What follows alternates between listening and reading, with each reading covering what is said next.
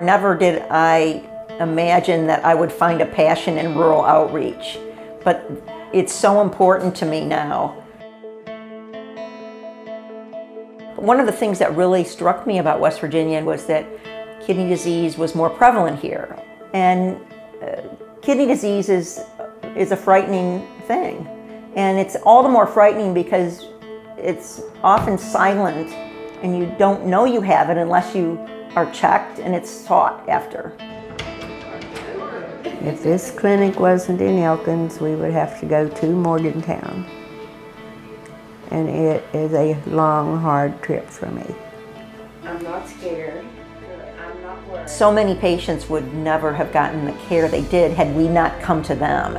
And I see this often in the patients that I take care of who are um, reluctant or more than resistant to coming to Morgantown uh, for their care.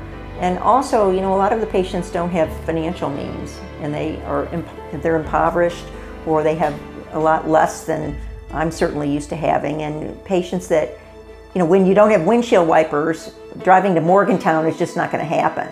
And when you don't have money for food, it's uh, not going to happen that you're going to be driving somewhere to your, see a doctor or get your medicines. Dr. Schmidt has been my doctor since 1999. I dearly love her.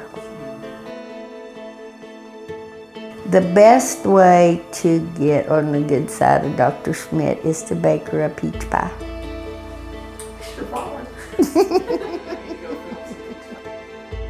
When I finished my fellowship in 2004, uh, Dr. Schmidt had already started a project where we would develop these little clinics in rural areas. So we started um, in, I think my first clinic was in Buckhannon, West Virginia, and we would drive down there and see one or two patients because nobody really knew we were there. And over the years, those clinics grew to where we have a wait list to get into the clinics.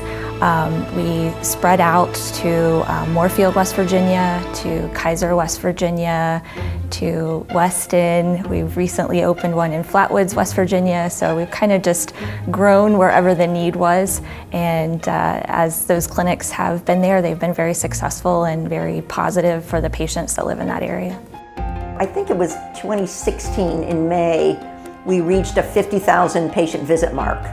And that represented some six million miles of driving saved by patients. So we were very happy with that and proud. About 2003, I was diagnosed with Alport syndrome, a hereditary disease that my mother had and my brother also has. And uh, Dr. Schmidt was my mother's doctor. So I've known her for 25 years at least. Also, you know, me working in the coal mines and this happening, I have uh, paperwork that needs filled out. And it's a lot easier to come here and have her fill out a paper. Even if I don't have a doctor's appointment, I can bring it here and have it filled out as compared to have to run to Morgantown all the time. I'd like to think I've helped them get through a lot of difficult times, um, not just with their illness, but with, uh, you know, trying the patient trying to work I know I've written a lot of letters and filled out a lot of forms, but you know, I, I do it because I care about them. She's like my mom to me. I mean, she's caring and uh, anything I need, she's there for me. So. You know, one of our goals has been to try to help people incorporate their illness into their life, not incorporate their life into their illness. Our mission as the land grant state university, West Virginia University, is to serve the state and to serve the people of the state. As chair of Department of Medicine, I'm extremely proud of the efforts and the successes of the programs developed by nephrology.